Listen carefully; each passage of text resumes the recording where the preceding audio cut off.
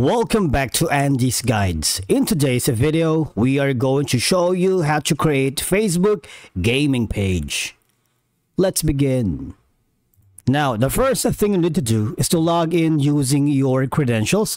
If this is your first time on Facebook Gaming, click on the create a new account option and from here just follow the on-screen instructions and you're good to go. Now, creating a Facebook gaming page can offer several advantages for gamers and content creators looking to engage with their audience and grow their presence because number one, Facebook has a massive user base which provides a vast potential audience for your gaming content.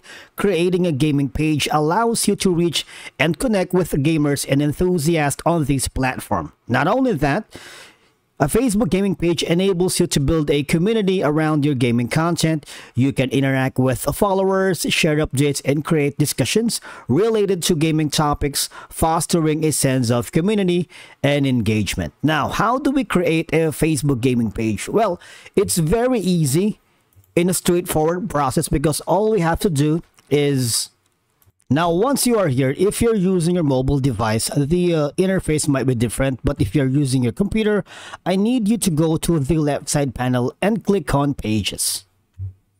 Now, once you are here, as you can see, you have the plus button that says Create a New Page. And from here, you can create the page name, which is, I'm gonna tell something like, um, and the category is gonna be gaming right? Um gaming video creator video game recreation center. But of course we're going to choose the gaming video creator. Now on the bio which is optional i need you to do or to put something there for the people to know about something about you. And from it's very easy really. All I have to do is click on the create page at the bottom the blue one. And from here, just wait for a little bit.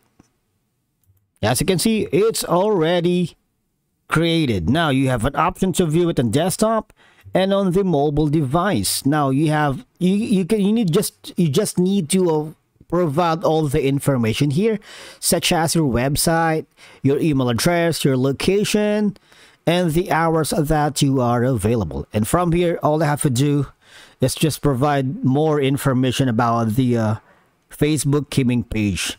Now, if you are having problems creating your Facebook gaming page here, you might want to go here instead.